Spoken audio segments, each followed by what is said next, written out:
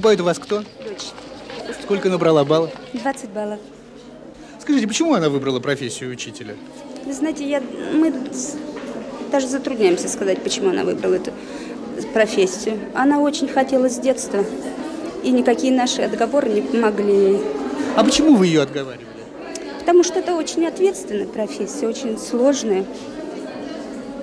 Вы знаете, хотелось бы, чтобы она выбрала свою профессию на всю жизнь, а не пришлось менять ее в течение каких-то, по истечении нескольких лет. Вы не расстраивайтесь, давайте поговорим. А почему вы вот говорите слово «менять»? Что, значит, бывает часто, что меняют? Конечно, ведь учителя – это такая коварная профессия. Нужно, чтобы дети любили, чтобы она была хорошим преподавателем, которая в детях оставляла ну, след на всю жизнь.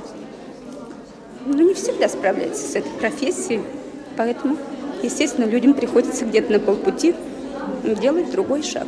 А искать себя уже потом очень сложно. А кто же ее позвал учителя? Откуда у нее? Вы знаете, скорее всего, она в учительницу, в с- в смысле, такую любовь к этой профессии привела и первая учительница. Ну, если не поступит на будущий год, вы все-таки... Сказала, а мы ее отговаривали нынче уж. Естественно, на будущий год будем отговаривать. Это вполне естественно. Вот мы на работе, когда она у нас подала заявление сюда, у нас многие тоже говорили, да вы, вы одумайтесь, опомнитесь, да что же это такое? Ну вы, мол, как родители, можете подействовать на нее? Ну, мы не можем. Ну что делать? Значит, не авторитет родителей у нее.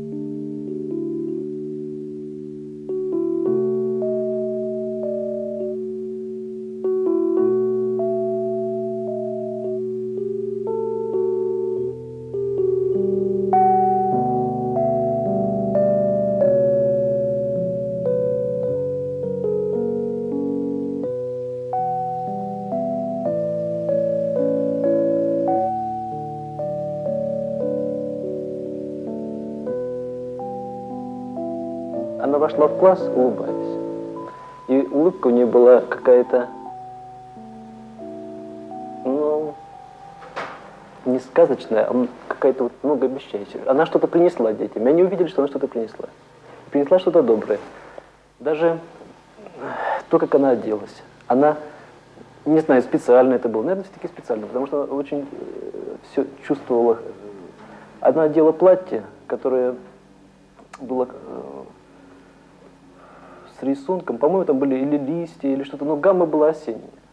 И вот она не подчеркивала, что у меня такое платье, посмотрите, какие цвета. Просто она в нем пришла. Она пришла нарядная, красивая, волосы красиво были уложены на плечи. И вот что поразительно. Никогда до этого, никогда после этого я не видел, э, чтобы так входил учитель в класс. Она вошла, и дети сразу еще не произнесла ни одного слова, не подняла руку, как некоторые учителя делают, призывая к тишине, а просто вошла и стала у стола, э, раскладывать стола то, что она приготовила к уроку, и класс за- замер. Мы просто замолчали почему-то. И дальше началась сказка. Она просто, естественно, рассказывала о том, вот она сейчас шла на урок, она шла по городу и увидела эту осень, которая идет э, с большим э, этюдником, у нее там краски, и она вот эти деревья все раскрашивает в разные цвета. Не всегда дети слышат то, что рассказывает учитель, они услышали, они ее почувствовали.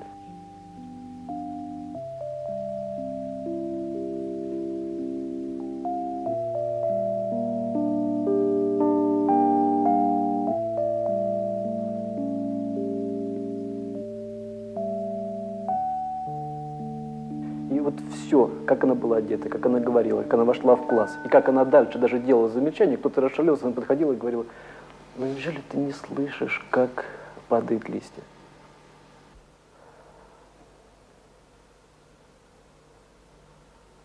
Он сначала, ну, после нас это было неожиданно. Мы подходили и говорили, ну, перестань баловаться, мешая другим. Она подходила и спрашивала, неужели ты не слышишь, как падают листья?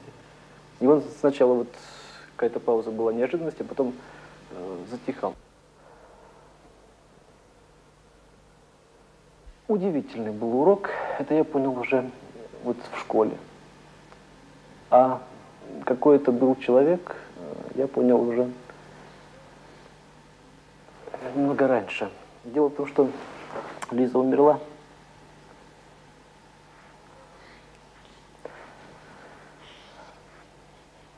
Она умерла, не кончу пятый курс.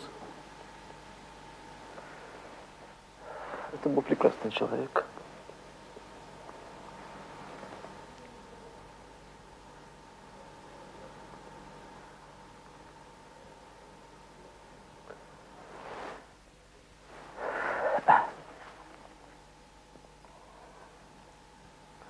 Когда мы с ней прощались, много было друзей, много было знакомых, но это часто так бывает. Но меня удивило то, что знакомые друзья, таких случаях принято говорить о том, что человек был хороший, что он многое мог бы сделать, если он в ранние годы умирает молодым, или что он много сделал, если он уже не молод. А они говорили как о педагоге. Вот что удивительно. Девушка, которая еще не окончила институт, которая была только на практике и работала с детьми на стажерской методической практике, они говорили как педагоги. Она не работала в школе, но когда она бывала летом на даче, когда она бывала э, просто с детьми во дворе, когда она была, работала в пионерском лагере, вот все говорили о том, что она работала как педагог. Может быть, она где-то не следовала всем законам педагогики, не все там э, нормы соблюдала, но она очень чутко чувствовала детей. Вот сейчас, когда я провожу уроки, я очень часто сравниваю свой урок и ее урок. И это для меня пока как критерий. Вот могут, конечно, обидеться профессора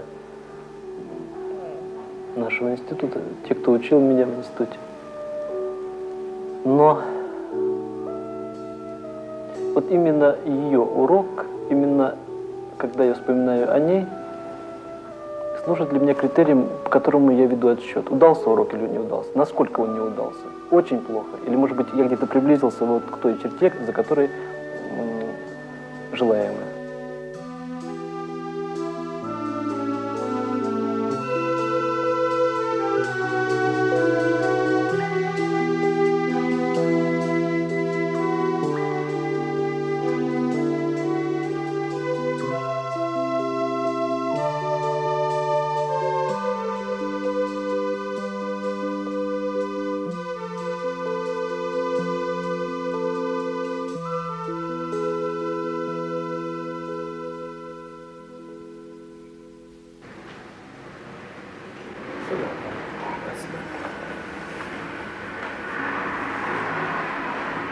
Кто вы?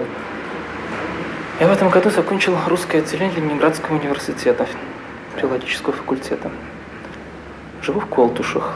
Так. Был распределен в видение Лена Блано во Всеволожский район. Тем не менее, это самое распределение я, не будучи внутренне согласным с этим распределением, я подписал его, потому что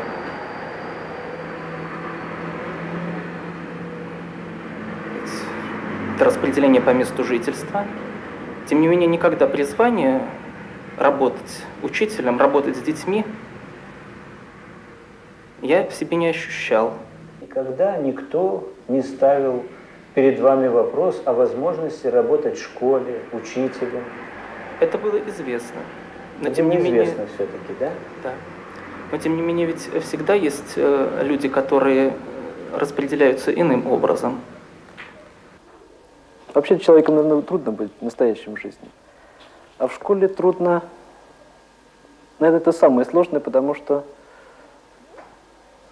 дети очень чутко чувствуют, какой ты. Вот проходит 2-3 урока в одном классе, встречаешься с ними, они уже могут сказать, добрый ты или нет. Вот они сразу говорят. И вот что удивительно, сколько я выслушивал мнение ребят о учителях, мне кажется, они, как правило, правы. А если ты не уверен, что ты до конца добрый человек, до конца человек настоящий, э, ну такой, чтобы можно было у тебя учиться, с тебя брать пример, вот тогда трудно в школе работать. Ты начинаешь бояться э, показаться или жестоким, или э, нечестным перед детьми. Потому что если они начинают не доверять тебе, тогда с ними невозможно найти общий язык. С ними невозможно работать. Они тебе не верят, нет контакта. В этом году окончили университет, да? Да, в этом году. И не пошли в школу вообще, да? Нет. Мне было известно, что во Всеволожском районе недостаток в кадрах был ликвидирован и без. А кто это вам сказал? Мне это было известно. Ну, сейчас в Всеволожском районе не хватает многих учителей, и в том числе учителей русского языка и литературы. Саша, а мама ваша как относится к тому, что сейчас происходит с вами? К тому, что вы пошли сюда? Мама очень страдает из-за того, что все обстоит так, а не иначе. Поясните, то есть она вас видит тоже занимающимся чисто филологической работой, да? Она видит большую несправедливость в существующей системе распределения и считает, что выпускникам должны предоставляться определенные хотя бы минимальные возможности при э, выборе места своей будущей работы, что в сущности распределение иногда создает только дополнительные препоны и не заставишь же человека, если он не хочет работать. В конечном счете ведь э, считает моя мама. Конечно, если он не хочет работать, рано или поздно ведь трудно заставить. Вот скажите, на, э, вы не работаете сейчас, на что вы живете? На мамину зарплату, к сожалению. На зарплату. Кто мама? Старший научный сотрудник Института физиологии. Ваша деятельность дворника, это как, помогает вообще и почему вдруг? Помогает ли на моей работе? Да. Нет, вообще, почему вы этим занимаетесь? Что это? Ну, таким образом просто я решил некоторые свои материальные проблемы, которые возникли. Вот. А потом, знаете, в этом, наверное, что-то есть, потому что после умственного труда небольшая разведка физическая.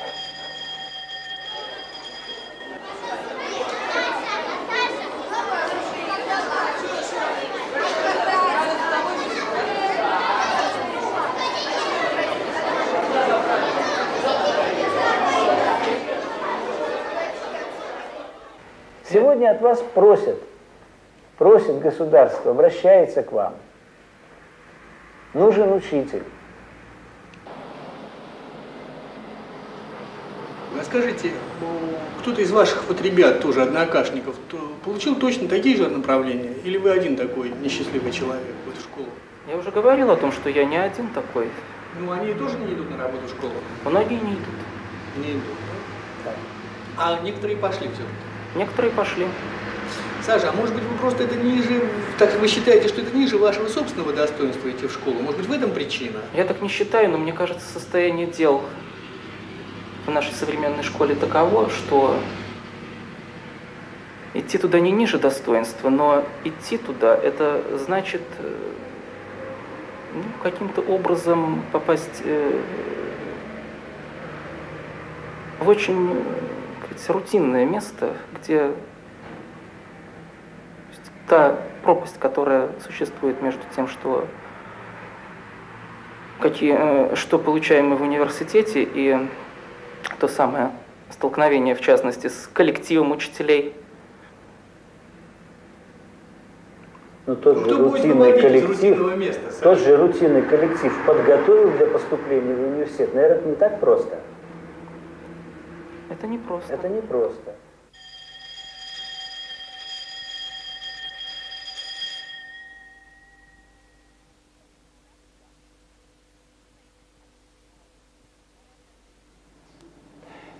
Так планирует ли из вас кто-нибудь свою будущую жизнь, э, ну вот, в качестве учителя?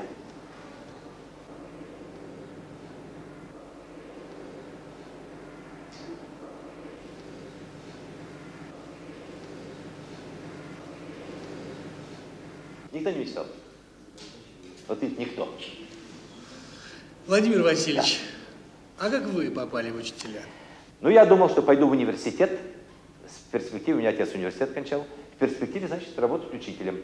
Ученым я себя не мыслил. Ученый это... Так, вот, учителем. Но потом, значит, 10 классов. Товарищи идут кто куда. В педагогические не идут. Ну, что-то меня тоже захлестнуло волной. Время было такое гидростанции, знаете, там это плотины и все такое. И вот пошел я, значит, на плотины, на гидротехнический факультет Политехнического института. Поступил, учился, почти год проучился, вижу, что нет, не то. И тогда я, значит, перешел на следующий год в Герценский институт на физико-математический факультет. Ну вот, кончил его. И во время войны когда отец умер у меня в январе 42 -го года, я на его место поступил сюда. Я еще был не в армии. Значит, поступил на его место, принял его классы. Классы эти были... В 10 классе было три человека в начале, в девятом классе было, я уж не помню, там два или четыре, что-то в этом духе. Ну, вот такие классы принял в январе месяце 40 какого? Второго года, 42 -го года. С тех пор начал работать учителем. Проработал, э, сделал выпуск хорошего класса. Но я после этого, значит, пришел срок, ушел в армию. Вот да. вы учили, значит, давайте считать, в 40-х годах, да. так, в 50-х, в 60-х, 70-х, 70-х, теперь 80-х. Вот меняет ли время идеал учителя вообще? Я думаю, что, может быть, меняет. Вот, может быть, меняет. Может быть, сейчас э, для молодых людей, девушек, мальчиков, может быть, учитель ближе тот, который ближе к ним по своей манере поведения. Вот. Они бегают в мятых штанах, и он в мятых штанах. Они там э, из палатки в туристском походе вылезают в саже и копоти, и он тоже такой с ними. Они на гитаре играют блям-блям-блям-блям, и он тоже блям-блям. А мелодию, допустим, какую-нибудь там шопеновскую или там какую-нибудь там э, эту, от Яра что-нибудь сыграть настоящее. Ни тот, ни другой, ни они, ни он не могут. Вот, может быть, такой учитель им ближе, чем это немножко академичный, всегда с застегнутым, пиджак, застегнутым пиджаке, вся причесанный более-менее, при галстуке. А, дети, ну чего вы проститесь немножко, да, Турбан? Ну, ближе тот учитель, который может тебя понять, с которым можно найти общий язык. То есть не, э, не внешние проявления, да? Да, не внешние проявления, а лишь чисто внутренние контакты. Если это так, то тогда, очевидно, не должно поменяться от 40-х к 80-м. Вот не могли бы мы с вами посчитать вот у доски, поскольку у нас с вами все-таки урок математики, да. вот э, сколько же выпускников приблизительно вы выпустили? Значит, э, класс будем считать в среднем 30 человек. Это 30 человек в классе. Значит, каждый год у меня бывало, ну, как правило, два класса. Два класса в год. Ну, значит, это 60 человек. Так, теперь 60 человек, значит, сколько же я работаю-то? Значит, в 42-м я начал. Значит, сейчас 83-й. Ну, вычесть, это попроще, кажется, это значит 41, да? 41, да, минус э, 3 года войны, это 38. Правильно, да? 38. Так, вот так умнож, умножать. 6 и 8, 48, 4 в уме, 18 до 4, э, это сколько значит? 22. И еще нолик. Да, примерно я так вот э, более ну, скрупулезно подсчитывая, вроде я получил около 2700-2600, что-то вот в этом духе, десятиклассников. Сколько среди них учителей? Человек 15-17 я могу вспомнить, что вот да, они уже стали учителями. Но это вас не огорчает? Меня это тревожит, как вот я вам сказал, что кто будет их детей учить? Вот меня тревожит это. Что дети растут, детей производят, их кто-то должен учить, а кто будет их учить, когда они никто не хотят идти в учителя почему-то? А почему они не хотят, Владимир Васильевич? Как вы думаете? Ну вот кроме того, что вот большой труд научить чему-то, еще у нас огромный труд, чтобы вот так с ними, как с людьми, понимаете, общаться. И вот иногда думаешь, что вот э, все эти уборки, все эти мытье окон, вытирание носов и все такое прочее, что это все, вроде бы это не тому учили в институте, не то мы думали делать, когда уходили из института, то есть это не учительская работа. Думаю, хочется сказать, это не педагогическая работа. И вдруг возникает мысль, что, может быть, вот этом-то как раз и есть наша педагогическая эта работа. Может быть, без этого учитель как таковой и не будет учителем, а будет просто формулодателем. Вот тут, понимаете, а это очень большой труд, это очень большой труд. А почему же вы все-таки... А я мужественный человек. А они не закалены, не закалены.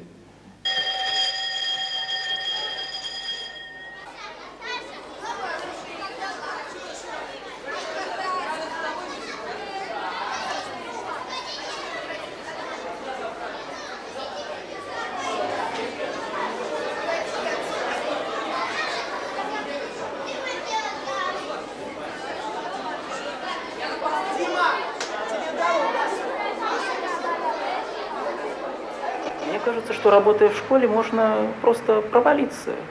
Ну, то есть, образно говоря, как в болото. И независимо от того, что уволиться уже потом, впоследствии, после трех лет, можно просто потерять многое из того, из тех знаний, что получено. В частности, я не сомневаюсь, что э, я э, забыл бы, допустим, английский, я не имел бы возможности читать английские книги, а для меня, например, это существенно. А часов в школе очень много, и э, проверка тетради – это практически безвыходное э, положение. То есть для работы над собой, для того, чтобы поехать в библиотеку, времени не оставалось бы.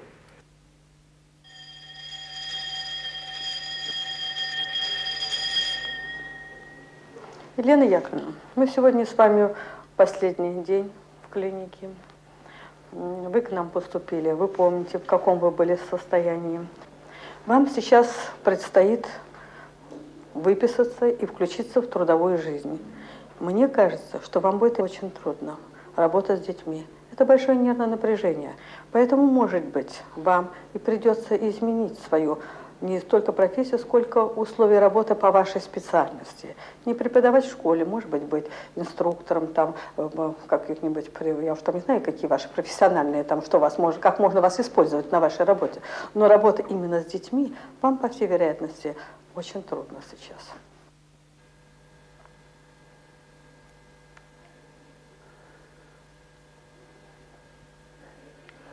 Вот 20 с лишним лет назад Вы вошли в школу в качестве учительницы. Помните свой вот этот день, первый день? Слабо помню. В общем-то, почти не помню. Помню, что вот меня на перемене мальчик дернул за косу, так сказать. Принял за свое? Да, принял за свое. Может, даже символично, так сказать. А так Честно говоря, не помню особо. В какой класс вы пришли? Ну, я помню, у меня шестой был класс. Так это трудненький такой. По сих пор шестой класс считаю вот этот возраст самым таким трудным. Уже не дети, еще не взрослые, так сказать. Еще не подростки. Подростки это интересно, в общем, люблю. А это возраст какой-то такой. Вот. Ну и что? Сколько были в шестом классе? В шестом классе побыла, в общем-то, немного. Меня на десятый поменялись мы с одной учительницей, значит. Я ей шестой, она мне десятый. Ей в десятом было сложно. Вот. Ну, значит, когда они узнали, что, значит, об этой перемене, они вопили «Ура!». Ну, я... Десятиклассники? Десятиклассники, да. А шестиклассники? Шестиклассники, я у них э, учительницей осталась, просто классное руководство я, значит, взяла. Вот. Ну, в общем, ура, э, слава богу, что ура. Значит, на первом же классном часе мы с ними встретились. Я говорю, ну вот, ура, свобода. Вот, пожалуйста, теперь то, что вы хотите. Ну, оказалось, что они вот как-то ничего не хотят. То есть не готовы к свободе. Вот. Ну, мне тогда легко было. Мы, у нас в возрасте была небольшая разница. Хотя вот сейчас 20 лет проработала, в общем-то, ну, бог с ней с разницей. Как-то ее нету почти что. Вот, значит, ну, начинала я с ними, да, кстати, не умею, вот,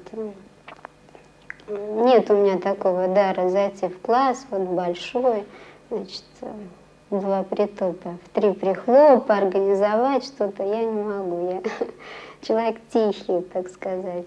Ну вот всем классом я помню, так было, я, значит, приходила, Первый раз я отлично помню.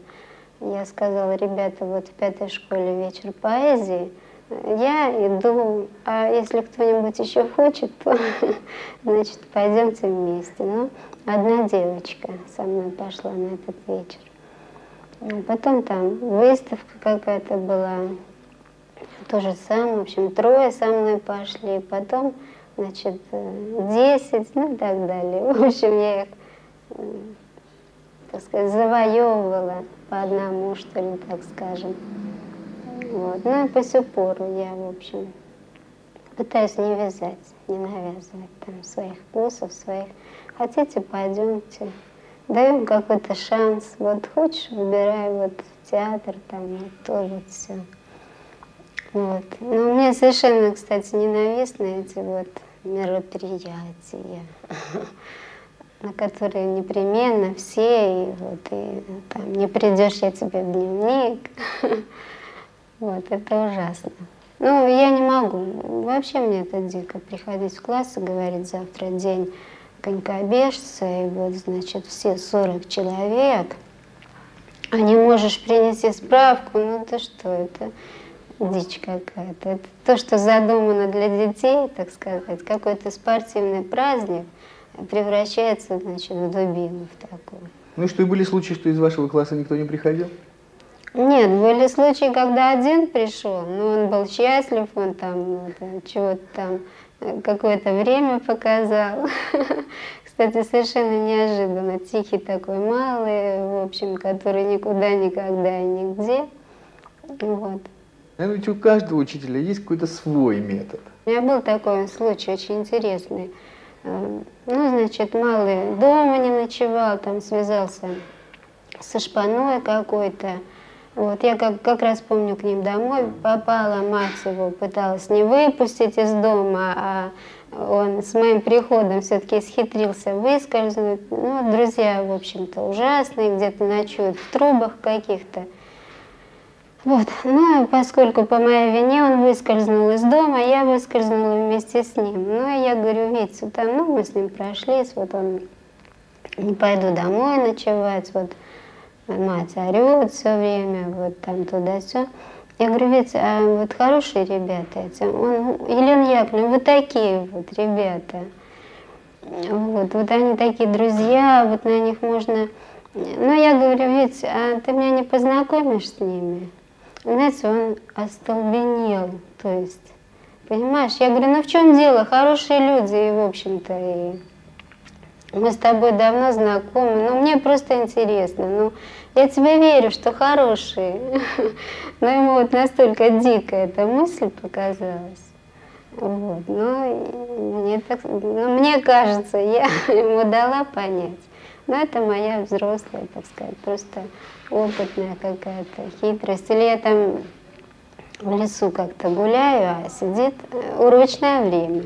Сидит малый, значит, из восьмого класса. Она ему говорит, здравствуй, Андрюша. Я говорю, никому не говори, что я в лесу гуляю, я с урока удрала, понимаешь? Дело в том, что они себя упорно взрослыми считают, Но в таких ситуациях я ему как бы говорю, ну ты взрослый, черт возьми, ну в общем-то. Вот я тоже взрослая, удрала с урока, понимаешь? Ну а еще какие-то моменты, вот, ну такого что ли, ну такого контакта, будем так говорить, вспомните. Ну, это, в общем, деликатный очень момент. Я вот всю ситуацию, ну, я не хочу пересказывать. Но был момент, когда одна мама попросила поговорить с сыном, очень трудно стало, в общем, в семье. Перестали понимать друг друга, и, в общем, пожалуйста, он к вам там так да сяко относится, в общем, пожалуйста. Но я вот совершенно не умею беседовать на заданную тему. Вот, Петя, садись, вот я тут напротив, вот давай с тобой поговорим. Не умею. Может, просто не умею, поэтому и не нравится. Вот. Но я его к себе позвала там за каким-то пустячком, я не помню, что-то там помочь, какие-то книги перетащить. И, ну вот, ну не начинается разговор, нет повода, так сказать. Вот, и чего-то мне уже куда-то бежать, ему тоже идти. Вот, и пластиночка под руку. Да не под руку, она у меня вообще была, конечно, лежала сбоку где-то. Вот, кстати, я эту, это была песня Дарьи прекрасная. Я ее что-то так с тех пор не слышала. Я говорю, вот, Володь, у меня пластиночка новая есть, может, послушаем? Ну и послушали. Там прекрасные слова в этой песне. Очень мало мне надо для счастья. Мне бы хотелось, чтобы в светлой роще шла со мной моя любимая. Ну и так далее. Там о матери очень хорошие слова. Ну и все, за мы разошлись. И разговора никакого? Нет, не было, не получилось как-то, вот. И дня через два мне мама позвонила, говорит, большое спасибо, большое спасибо, Елена Яковлевна. Ну, я, конечно, счастлива была. Самое трудное?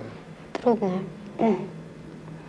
Ну, я не буду говорить об обычных учительских трудностях как в песне поется, я на подвиг тебя провожала, я себя по утрам на подвиг не провожаю, нет. Вот. Трудно, да не трудно, а вот бывают же противоположные моменты вот этому счастливому, так сказать, моменту. Есть другие, когда, ну не знаю, пустые глаза совершенно, я как-то говорила родителям, что если вы меня спросите, а что, собственно говоря, я хочу? Я хочу, чтобы вот э, они умели удивляться. Я не знаю, для меня это самое, э, в общем, ценное качество. Уметь увидеть, удивиться.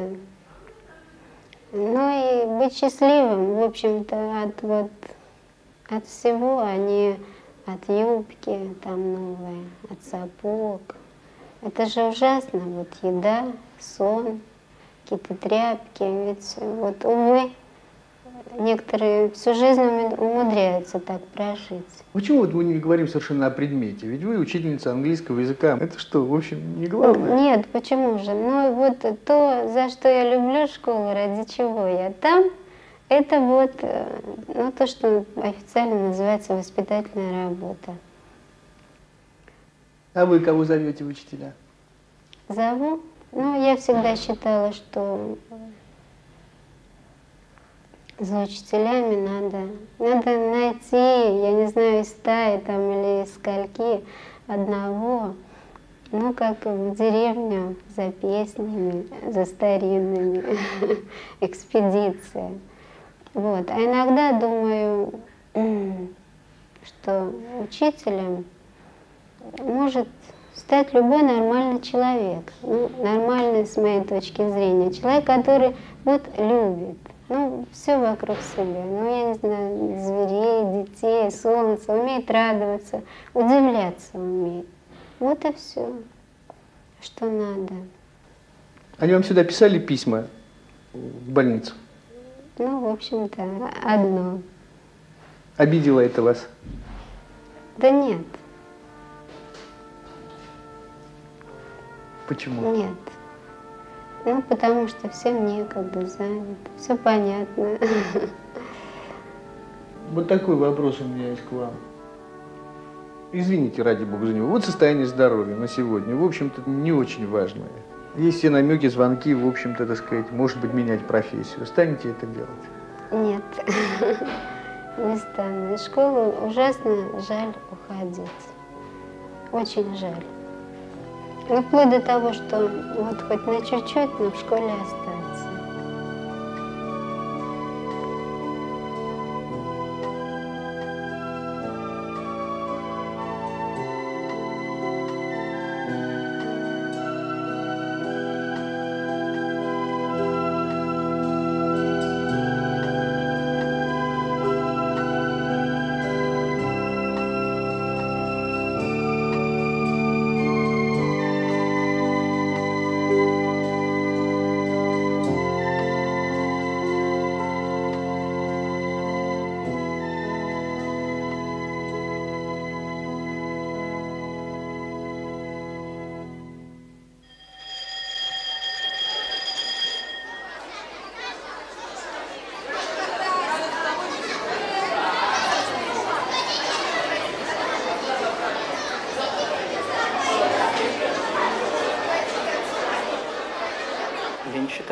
Распределение вы подписали с вашего согласия. Следовательно, вы, ну, наверное, в какой-то степени, скажем, обязаны отработать там, куда вас направляют, там, где вы нужны. А вы сейчас руководствуетесь, наверное, личными какими-то я считаю, что я руководствуюсь не только личными побуждениями. Вдобавок ко всему этому, я считаю, что та польза, которую я мог бы принести в школе, минимальна была бы, просто-напросто. Потому что мне трудно вот, находить контакт с детьми. Я чувствую, что мне трудно так сказать, представить э, всегда, на каком уровне нужно, допустим, вести рассказ, то есть вести урок. То есть мне как-то трудно сориентироваться э, вот на уровень восприятия, который существует э, в школе. И э, во время тех практик, которые проходит каждый филолог на четвертом и пятом курсе, я сталкивался с этими трудностями. Какую отметку вам ставили за практику? Уже за первую хорошо, за вторую отлично. Так. Вы отводите это место кому-то другому, да, у кого дар есть, вы говорите. У кого дар есть и у кого... Дар ли? Может, не дар это называется? Это называется и дар, но... А что еще? И дар. А что еще? Но ведь существует и просто много людей, которые, если угодно, по заслугам могли вполне бы работать в школе. Ну, исходя, исходя из того, как они... Ну, они менее одарены, чем вы, они не опубликовали свою статью, правильно? Да, ну, допустим, грубо говоря. Опять-таки, грубо говоря, подчеркиваю.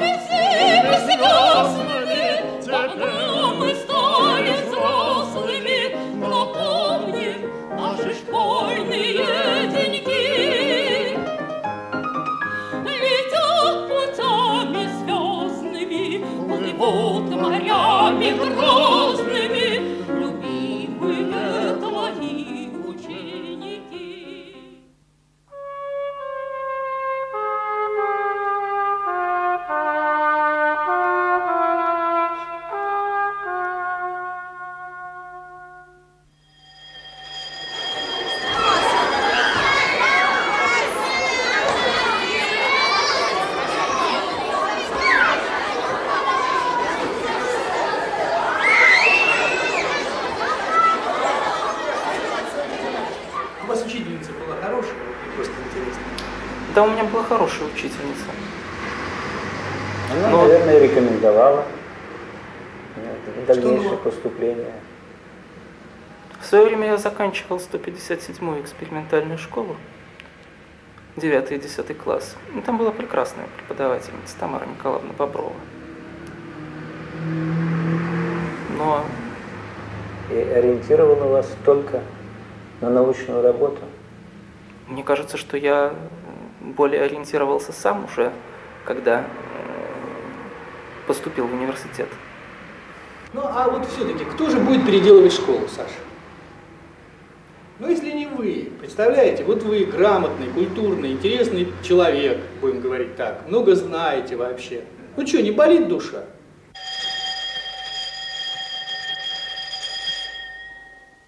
Как вы пришли в педагогику? Я? Да. Ну и Галя, у меня тоже этот вопрос. Галине Эдуардовне, простите.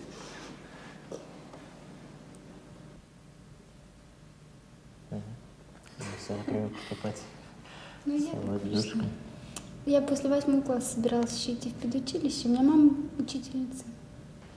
Правда, сейчас не работает учителем, но брат учитель пошел по маминым стопам, хоть он и младше меня. Но у меня был выбор лишь между факультетами. Либо я хотела на спортфак идти, либо на физику. Но все-таки выбрала физику. Спорт остался его хобби, наверное.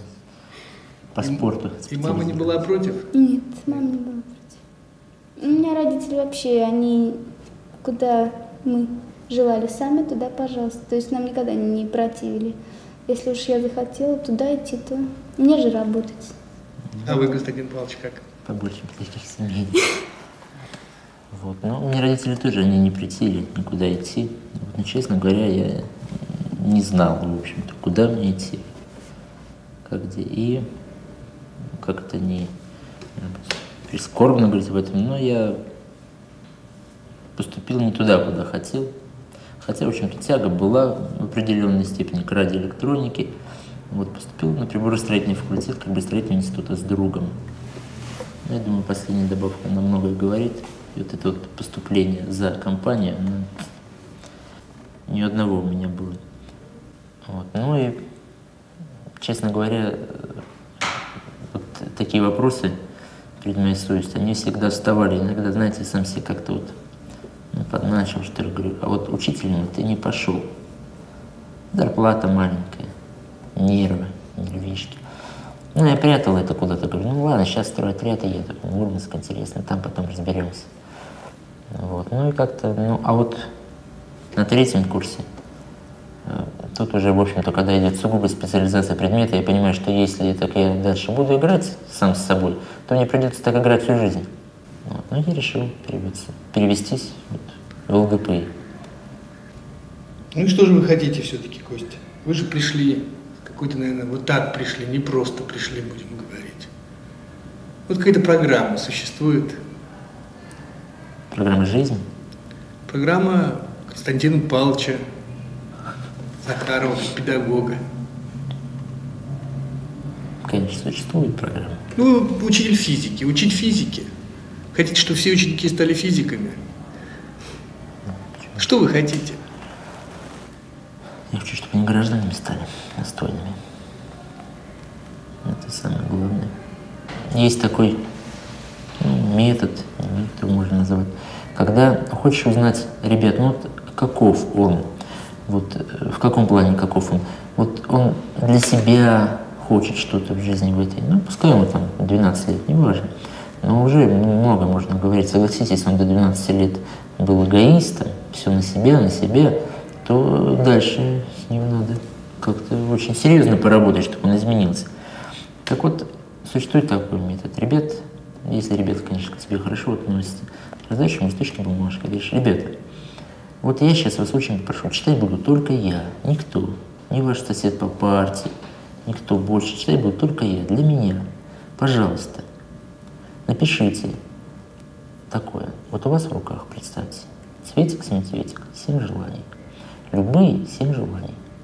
Так вот, когда обрабатываешь эти данные, то всегда, в общем-то, я вот когда ребята у меня все написано, то сразу я беру красный и черный карандаш. И вот читаешь первое. Я хочу, чтобы во всем мире, на всей земле был мир.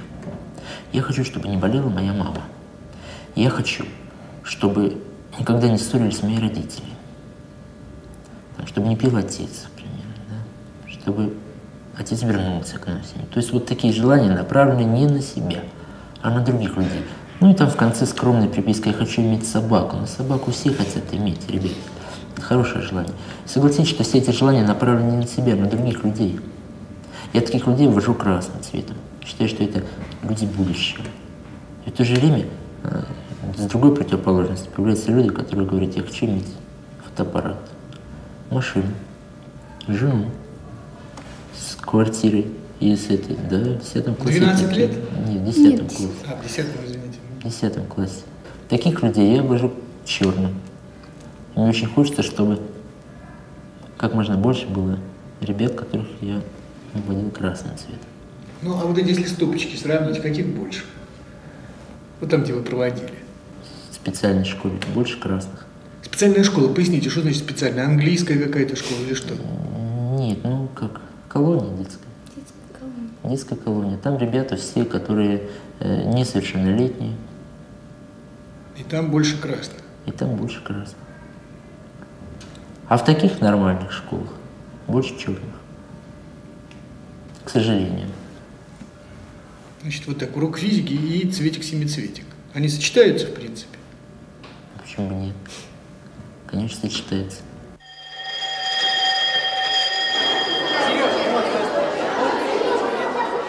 Я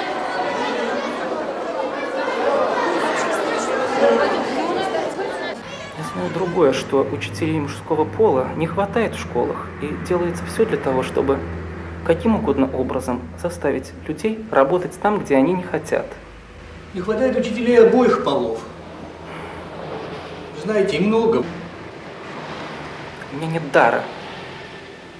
А дар в литературоведении есть. Это проверено, это твердо. Это проверено. Каким образом? У меня есть, в частности, бумага, которая это подтверждает. Да, есть бумага. В вашем деле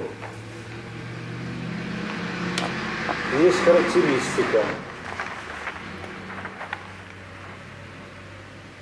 Значит, Тимофей Александр Генрихович поступил в университет в 1978 году и успешно освоил дисциплину учебного плана. По всем специальным дисциплинам у Тимофеева отличные оценки. Он прослушал следующие спецкурсы. Бялого, романы Достоевского, Америн, блоки символисты, блок его предшественники-современники – и прочее. Здесь перечисляются спецкурсы, которые вы прослушали. С третьего курса успешно занимался в семинаре Аверина. Его работа о творчестве Кузьмина выдвинута на обсуждение на кафедре и получила высокую оценку сотрудников кафедры. Тимофеев выступал с научными докладами на студенческой научной конференции. Опубликовал статью в студенческой научной газете «Аргумент». Вот. Вы считаете, что этого достаточно? Там есть еще один абзац. Так. Принимал участие в сельхозработах, был старостой Блоковского семинара. И в таком, в таком случае еще один, да.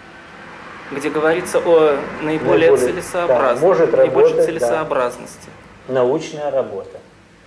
Саша, вот судя по всему, ну, главным образом, исходя из вашей характеристики, вы хорошо знакомы с творчеством Блока. Я думаю, что, наверное, и с личностью Блока тоже. Вот скажите, а Блок мог бы оказаться в такой ситуации? Если угодно, то, мне кажется, на этот вопрос ответа просто нет. Когда вы стоите на моем пути, такая живая, такая красивая, но такая измученная. Говорите все о печальном, думаете о смерти, никого не любите и презираете свою красоту. Что же, разве я обижу вас? О нет, ведь я не насильник, не обманщик и не гордец. Хотя много знаю, слишком много думаю с детства и слишком занят собой. Ведь я сочинитель, человек, называющий все по имени, отнимающий аромат у живого цветка. Сколько не говорите о печальном, сколько не размышляйте о концах и началах, все же я смею думать, что вам только 15 лет.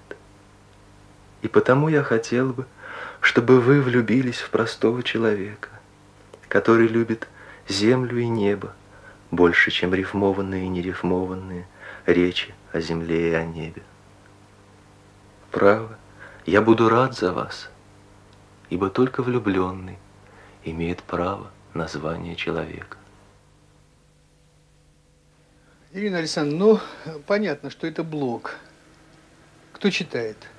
А читает мой любимый ученик Миша Козлов.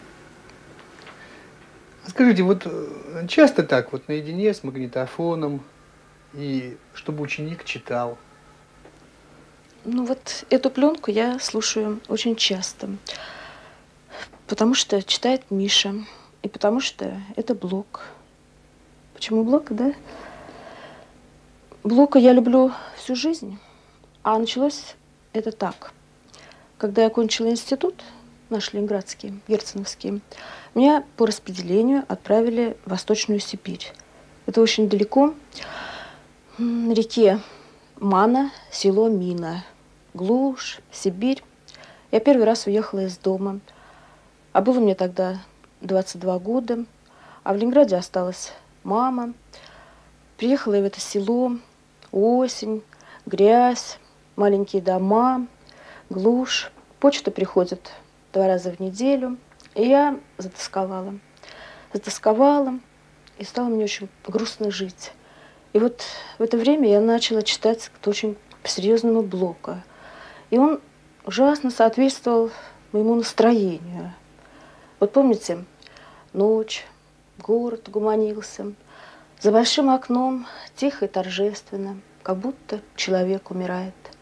Там стоит просто грустный, расстроенный неудачей, с открытым воротом и на звезды смотрит.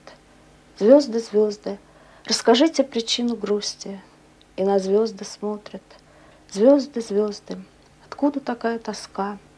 И звезды рассказывают, все рассказывают звезды. И вот не знаю, по какой ассоциации, чем больше я читала Блока, тем более ощущала, что я ведь вовсе не несчастная от того, что уехала из Ленинграда, от того, что друзья там остались, а я ведь очень счастливый человек, потому что этим людям здесь, в Сибири, в селе, я очень нужна. А Миша, во-первых, мы с Мишей одинаково чувствуем. Миша умеет слушать, а вот потом были другие ученики, Миша давно кончил уже школу, были другие ученики, и так не получалось. И сейчас так не получается. Вот мне даже хочется вам рассказать одну историю по этому поводу. В прошлом году я работала в двух десятых классах. И я ужасно любила этих ребят. И одновременно я их ненавидела. Понимаете? Я их любила, потому что они хотели учиться, потому что они слушали, они записывали, они хотели получать хорошие отметки, они были веселые, остроумные. А одновременно я их ненавидела, потому что они никогда не волновались от того, что волновалась я. Они никогда не зажигались о мое волнение. Они были спокойные, они были даже терпеливы. Если они видели, что я э, волнуюсь, мучаюсь, они терпеливо пережидали мое волнение. А потом снова брались за ручки, открывали тетради и добросовестно записывали, добросовестно учили. То есть, наверное, я не говорю каких-то, не, от, не открываю что-то новое в жизни. Но мне кажется, вот это важно, воспитать в людях доброту, порядочность способность страдать, волноваться, переживать, любить, быть верными. Вот это, мне кажется, сейчас главное, на что нужно обращать внимание, воспитывать детей. Вот вы говорите о доброте, в общем. Я, ну, наверное, тут трудно не согласиться. А вот Скажите, а школа сама по себе сегодня, она добрая школа? И должна ли быть школа доброй? Это абсолютно убеждена, что школа, вот прежде всего, должна быть доброй. Вот дети утром просыпаясь, должны ощутить, что их ждет радость. Они идут в школу, они встретятся и с товарищами своими, и с учителями. Но так должно быть. А я сама порой бываю раздражена, сижусь иногда, наверное, не по делу. Иногда злюсь там, где можно, наверное, не разозлиться. Мне кажется, нет сегодня той школы, какой она должна быть. Столько всего наваливается, что иногда как-то вот на главное не остается сил. Вот, например, сегодня кончился урок, я встаю и объявляю, все вышли из класса. Но они не одновременно все уходят, а порядок такой, они должны выйти. Я тогда громче повторяю, считаю до трех, все вышли из класса. А в это время вот я уже разогналась, навести порядок, навести дисциплину. А в это время я ловлю взгляд девочки, которая э, направилась ко мне, которая, очевидно, хотела что-то спросить, но я уже разогналась, я уже ее глаз не вижу, потому что мне надо еще другие дела сделать. Вот такая, такие вот страшные перегрузки ложатся сегодня на учителя, и, конечно, это иногда отвлекает от самых главных забот школы. Мы делаем многое в школе, и не успеваем сделать главное. Все-таки перед нами класс, а отдельный человек с его судьбой, с его собственной бедой, с его э, муками, с его раздумьями ускользает от нас. То есть вот эти глаза, да? Глаза. Да, вот, вот как раз видишь... самые глаза, которые вот я и увидела, а не смогла заострить на них внимание. Оставите ли вы свои задачи, вообще вот своей практики сегодня – все-таки вырастить учителя или вырастить учителей, вырастить ребят, которые бы продолжили ваше дело, будем говорить так. Есть ли такая задача? Или вы считаете, что это должно само собой возникнуть в человеке? Это, наверное, это важно. Вот сейчас мой воспитательский класс – это восьмой класс. И вот есть три девочки, которые, я убеждена, смогут быть хорошими учителями. А как их родители к этому относятся, не знаете еще? Вот родители чаще всего против педагогического института. Наверное, они понимают, какая то в общем-то, каторжная работа, какая-то тяжелая работа, и не хотят, чтобы дети мучились.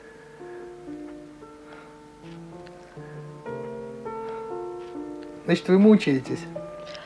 Ну, тут, конечно, я очень часто мучаюсь, действительно.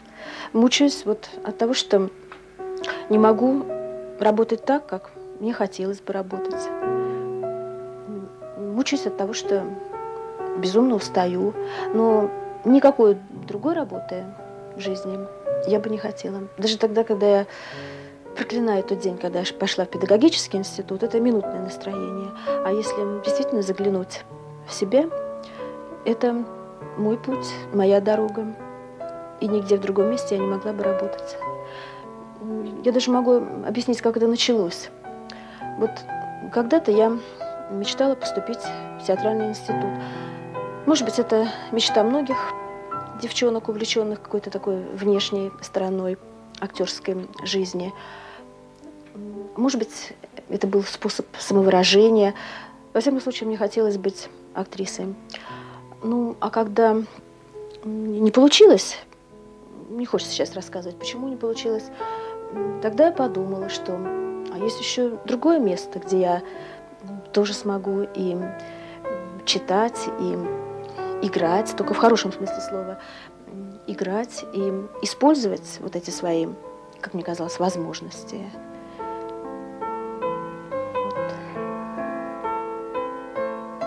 И потому я хотел бы, чтобы вы влюбились в простого человека, который любит землю и небо, больше, чем рифмованные и нерифмованные речи о земле и о небе. Право, я буду рад за вас, ибо только влюбленный имеет право на звание человека.